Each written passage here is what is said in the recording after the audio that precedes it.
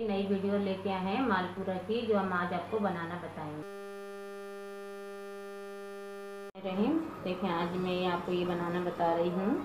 मालपुरा, एक kilo pan आटा है, दूध है, एक किलो आधा आधा किलो दो जगह दूध है, दो अंडे हैं ये।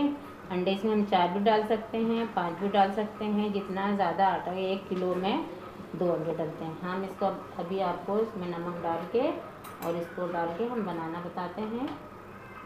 देखिए, इतना हमने इसमें नमक डाला है। और ये हमने इसके अंदर ये दूध भी डाला है, ये बन रहा है मालपूरा देखें और ये अंडे भी डाल दिए हमने। अब इसको मैं फेंटना बताती हूँ। इसको इस तरीके से हमें करके इसको फेंटना है। देखिए जब ये फिट जाएगा तो ये इसको थोड़ी देर के लिए छोड़ देंगे।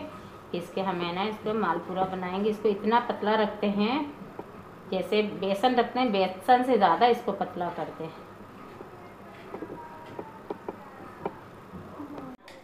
फिट चुका है ये अंडा, दूध, मैदा, ये मैंने सब फेंट लिया। अभी इसको ना मालपूरा बनाना बताती हूँ आपको।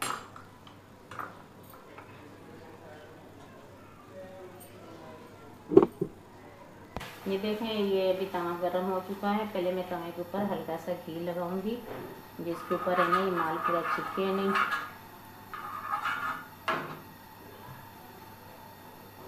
ये देखें, मैंने इस पर हल्का सा घी लगाया है इसके ऊपर जो ये चिपके रहेंगे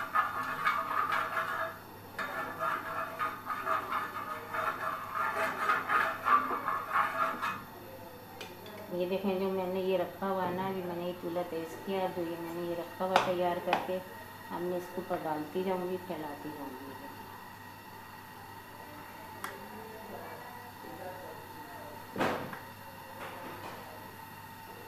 ये देखें, मैंने इसको डाल दिया है। अब इसके, इस तरीके से करके फैला दूँगी इसको मैं। फैलाने के बाद ये ये सीखने पर आ जाएगा, फिर इसको पलट दूँगी पलट के।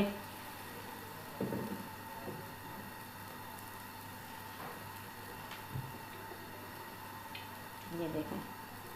इस तरीके से इसको फैलाना है। जितना भी बड़ा करना चाहें, बड़ा हो जाता है।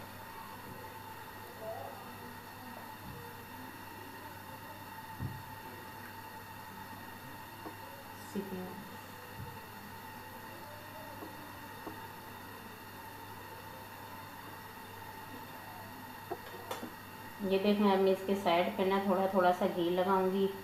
ये जो ये जो चिपका हुआ भी होगा, ये भी आसानी से निकल जाएगा ये। देखें यार, अभी चिपका हुआ ये, अभी सिका नहीं है ये। तो यहाँ से ये पलटने लग गया। ये देखें अच्छी तरीके से ना ये पलट जाएगा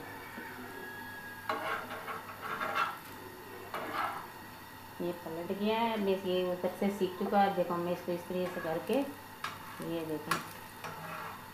ये मैंने इसको यूँ पलटा। कितना खूबसूरत लग रहा है। अभी इसके ऊपर फिर मैं हल्का हल्का से ये देखें, घी लगाती हूँ इस तरीके से करके, इस तरफ़ से। फिर मैं उधर पलटूँगी। फिर ये।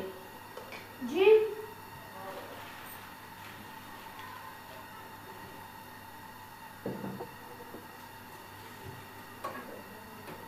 ये देखें कितना खूबसूरत ये लग रहा है।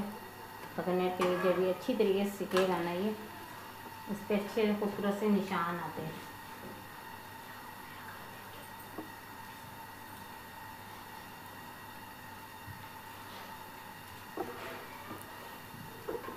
ये देखें, ये कितने खूबसूरती से तैयार हो गए, ये अच्छी तरीके से पक चुका है। मैं इसको उतार रही हूँ।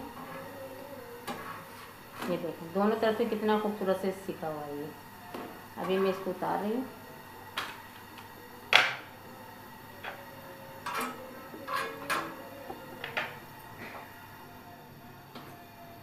देखिए मैं और डाल रही हूँ इसके ऊपर अभी।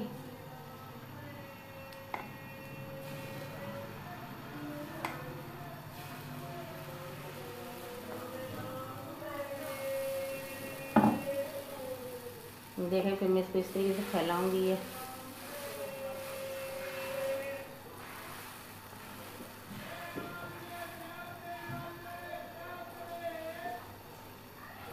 देखें अब मैंने इसको थोड़ा और बड़ा करके भी दिखाया मैंने। इसको हम जितना भी बड़ा करना चाहेंगे, बड़ा हो जाएगा।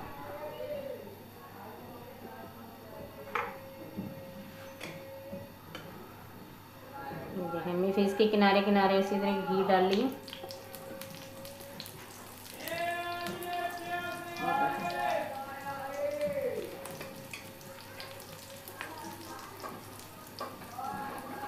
अभी सिका नहीं है, अभी इसके किनारे इसके चिपके हैं अभी किनारे जब खुलेंगे।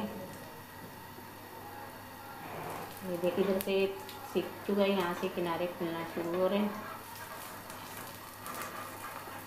ये देखें, ये किनारे खुलना शुरू हो गए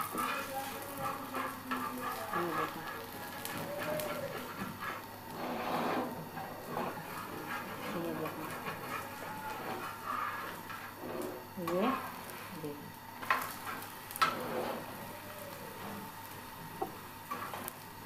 ये देखें इस तरीके से अभी पकता जाएगा ये। ये देखें।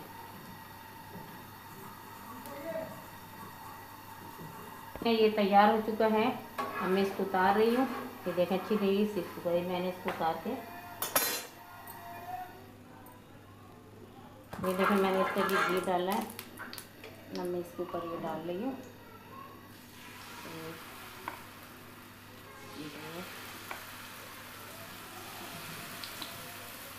मैंने चार चम्मच डाले हैं, अभी इसको, फिर मैं इसी तरीके से फैलाऊँगी। ये ना अक्सर नमकीन भी बनता है तो ये मीठा भी बनता है। जब इसको, जैसे हम अंडा, दूध इसको मिला के जब फेंटेंगे तो ये नमकीन भी बन सकता है। मीठा भी बन सकता है, इसमें चीनी डाल डालेंगे तो मीठा हो जाएगा, और नमक डालेंगे तो नमकीन बनेगा ये। अब बच्चे नमकीन ज़रा शौक से खाते हैंगे, जैसे कीमे के साथ, चाय के साथ, वैसे भी बच्चे खा लेते हैं इतना नरम होता है ना, हद से ज़्यादा नरम बिल्कुल।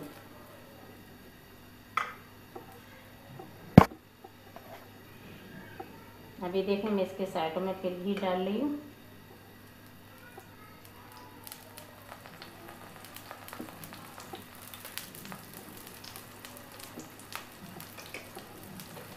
अभी सीख जाता है तो हम इसको पलट देती हूँ देखें। कितनी अच्छी तरीके से सीखा है ये। ये देखें। और खाने में जितना नरम है हद से ज़्यादा। है, कितने अच्छे तरीके से बन चुका है मालपूरा ये देखो, दोनों तरफ़ से सीख गया बिल्कुल नरम ही है। अब मैं इसको उतार रही हूँ देखो। अब मैं फिर और भी बना रही हूँ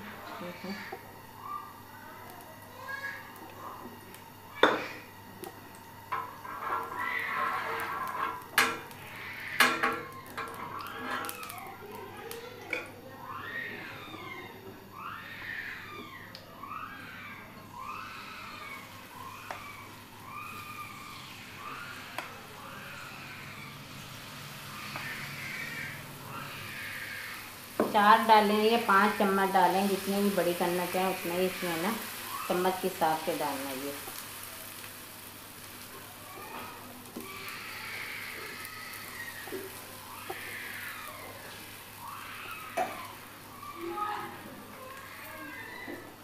देखो, इस तरीके से हमें इसको फैलाना है और इसी चम्मच से इसको गोल करना है।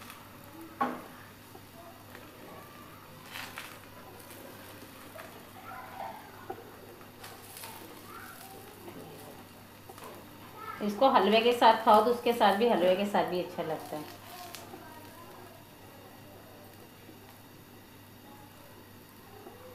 देखिए मैं अभी इसमें घी डाल ली अंदर। इसके साइडों में। ये जल्दी से खाने में हमें परेशानी नहीं होती है। देखें ये सीख चुका है अभी हमने इसको कलर दिया। कितनी खूबसूरत है एक तरफ़ से कितनी खूबसूरत से सिका हुआ है ये। और ये थोड़ा नरम भी होता है ये। और तो अंडा और दूध डलता है ना, बहुत ज़्यादा नरम भी हो जाता है।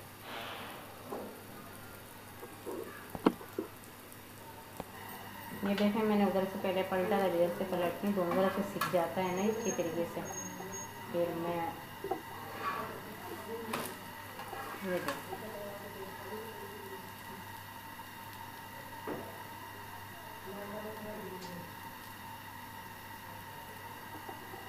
ये देखो।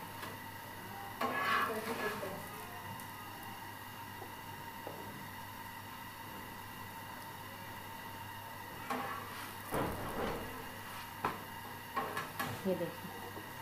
कितना खूबसूरत लग रहा है ये मालपुरा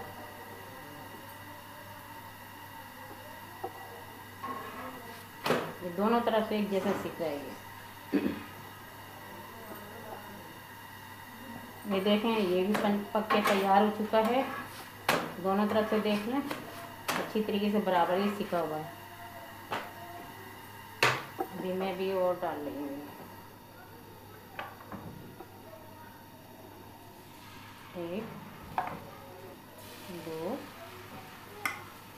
तीन ये हमने चार चम्मच डाले हैं और उसके इस तरीके से फैलाना, ये देखें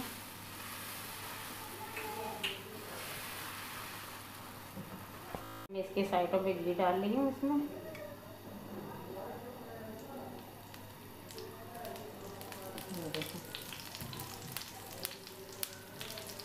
मैंने इसमें घी डाल दिया। इसको मैं हल्के हल्के साइडों से उठाऊँगी।